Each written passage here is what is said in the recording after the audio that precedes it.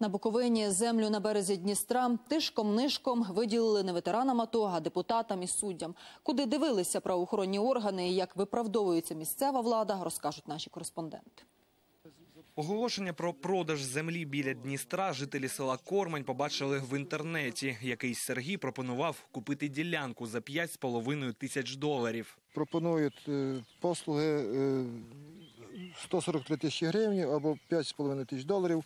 Е, Знаходиться в межах е, водосховища 50-60 метрів до нього. Є державні акти, виготовлені, все як має бути. Місцеві жителі кажуть, що вже десятки років тут сільське пасовище. Хто дав дозвіл на продаж і приватизацію, у сільраді відповідати відмовилися. Тоді люди вирішили провести розслідування.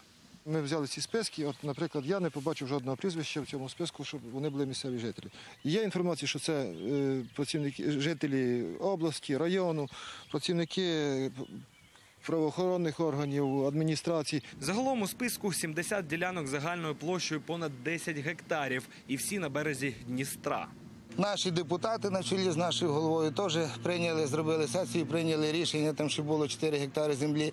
Тихо, лихо, також забрати собі і роздати всю остальну землю районним чиновникам. І там не знаю це. Оце буквально люди знали і вже піднялися. Обурені жителі вийшли на акцію протесту. Побачивши натовп, чиновники адміністрації терміново зібралися на нараду. Начальник районного відділення Держгеокадастру звітує, нових власників ділянок не знає і нарікає на голову сільради. Мовляв, саме вона розпоряджається землею.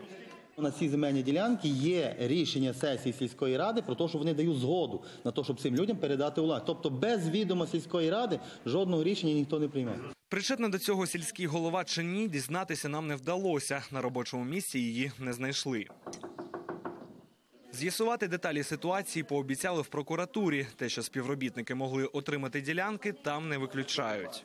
Я розумію, про що ви питаєте. Особисто в мене там земельної ділянки немає. По інших працівниках, ну я сумніваюся, що вони як працівники могли отримати там землю, могли як громадяни отримати землю. На даний момент у мене немає інформації.